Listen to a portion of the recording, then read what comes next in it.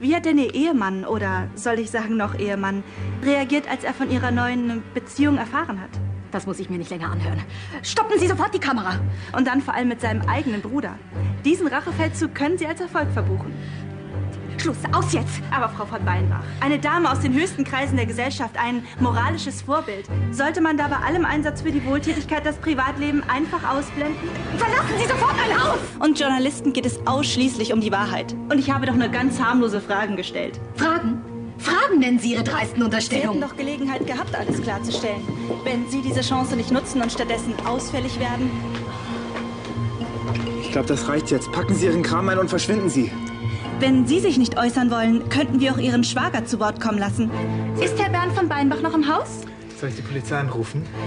So wie Sie Ihren Job ausüben, wäre das bestimmt nicht die erste Anklage wegen Hausfriedensbruch. Von einer Familie wie der Ihren hätte ich etwas mehr Entgegenkommen und Höflichkeit erwartet. Soll ich noch das Beschwerdebuch kommen lassen?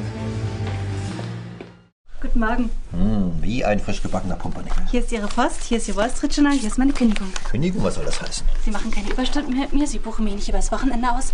Sie haben jegliches Interesse verloren am Umlaut. Also ist offensichtlich, dass ich hier nicht mehr gebraucht werde. Sie wissen, warum wir haben einen Hausgast. Sie haben gesagt, Sie bleibt nur zwei Wochen in Kann Berlin. ich was dafür, dass sie die Berlinitis gekriegt hat? Sie ist jetzt seit zwei Monaten Ja, sie ist gerne hier. Was soll ich gegen tun? Soll ich sie rauswerfen? Muss sie nicht wieder zurück, fängt die Schule nicht mehr wieder In an? Georgia? Da kommt es nicht drauf an. Come on, das ist doch Unsinn mit der Kündigung. Ich habe verschiedene Offerten bekommen, schließlich bin ich Bilinguistin. Wem sagen Sie das? Erinnern Sie sich noch an die russische Handelskommission? Die rufen mich unentwegt an, die sind dann zurück nach mir. Kein Wunder, die sibirischen Wölfe.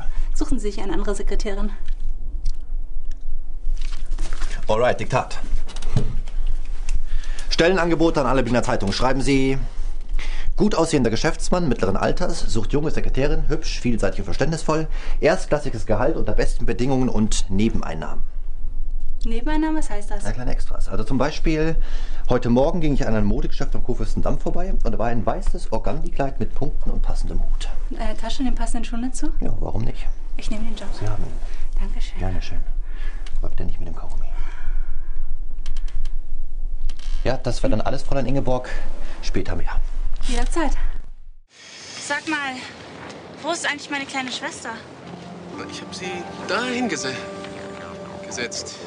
Ey, sag mal, du solltest doch auf sie aufpassen. Hab ich auch. Wilma? Wilma? Wilma.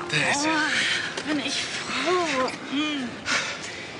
Ich hab ja wohl nicht mehr alle Tassen im Schrank. Sowas von verantwortungslos. Wo warst denn du so lange?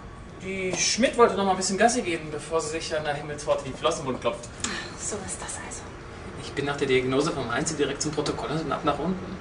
Tut mir leid, dass es heute mal ein bisschen länger gedauert hat. Ein bisschen.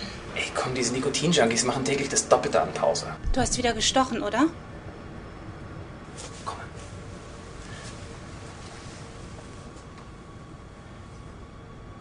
Hammermäßig, oder? Also hier bin ich ein bisschen weggerutscht, aber für die kurze Zeit ist doch absolut geil, ey. New York-Style, was ist? Willst du darüber reden? Jetzt? Nein. Dann lass uns über was anderes reden. Okay. Wer ist denn der Vater? Die Sache ist die, ich hab's dem Vater noch nicht gesagt. Ich denke, man soll es auch keinem anderen sagen. Ja, das verstehe ich. Das ist nur fair. Ist es Tim? Conny, Hm, ich höre schon auf. danke. Es ist Robert. Es ist Robert. Es ist Thomas. Hör endlich auf damit, ja. Ich werde dir nicht sagen, solange er es nicht